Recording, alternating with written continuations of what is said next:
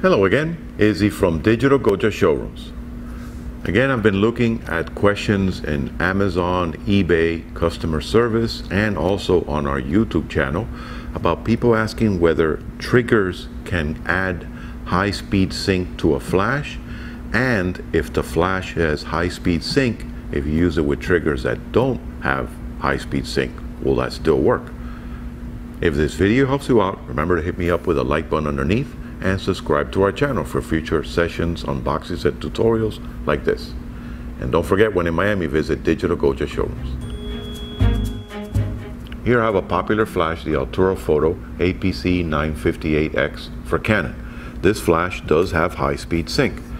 So when you turn your flash on, you can press this little button here, which is for high speed sync and second curtain. So I clicked it on and there's a little icon lit up there for high speed sync. So with that one, you're set to go. And when you put it on your EOS camera, here I have a Rebel T6S, again a very popular camera. If we go into our menu, right, I can go into the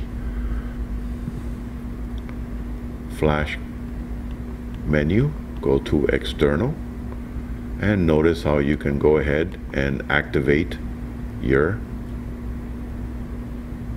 high-speed synchronization. So move it over to high-speed sync and now they're both working properly so I can go ahead and uh, let's pick a nice fast shutter speed here 1 800th of a second I can fire away and get a close-up of let's take a look here. I can get a shot of the of my camera setup. So it worked fine. Now, even though it's on high speed sync, I'm going to turn it off because these flashes do maintain it in the memory. And now I'm going to put it onto the Altura wireless trigger set. Now this guy does not have high speed sync. So I'm going to set it on here. Remember, you have to put this on there correctly and lock it in place so that it doesn't fly off. Turn on the flash. It's on high speed sync. So let's give it a try. I'm getting the incorrect exposure because it's not working at 1 800th of a second.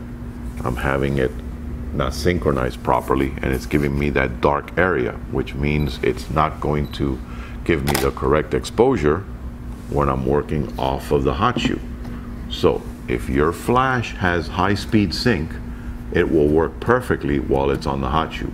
But you have to look for trigger sets that also accommodate high speed synchronization when they're in this mode where again your flash is not on the hot shoe, it's on the trigger set. So that's the only way you're going to be able to maintain high speed sync if you want to work off camera. You have to be working with either two flashes, so you'll have to work with the optical system that this has, the ETTL automatic synchronization. That way you can maintain the high speed sync. But again, you'll, it'll take two flashes to be able to do that.